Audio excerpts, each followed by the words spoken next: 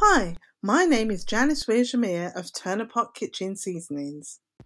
We've created a cookbook with Latin Caribbean seasonings and we've decided to mix it up. Earlier that day, two of the guests were having a chicken Caesar salad with sweetburn. And they were so excited they wanted to share on social media their experience.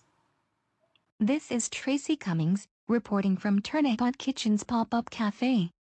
We just tried the vegan chicken Caesar salad with sweetburn. Oh my, it tastes so good. Come visit. So get our cookbooks on Amazon. Get your cookbook at bit.ly backslash Janith Books. You can also get Turnahpot Kitchen Great Taste Awards seasonings on our Facebook page. Turnahpot Kitchen. Bye for now. We look forward to serving you. Get that cookbook, the seasonings, and come to our pop up events. You'll enjoy the food so much. And let's cook up a rainbow. Yeah, come and turn a pot with me. I'll let me cook up a rainbow. Pot with me. Let me cook up a rainbow.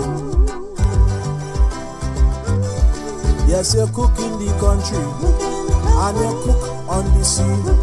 Yes, you cook in the kitchen. Now come and cook with me. Turn a pot, turn a pot. Turn a pot, turn a pot. Turn a pot, turn a pot. Come and cook.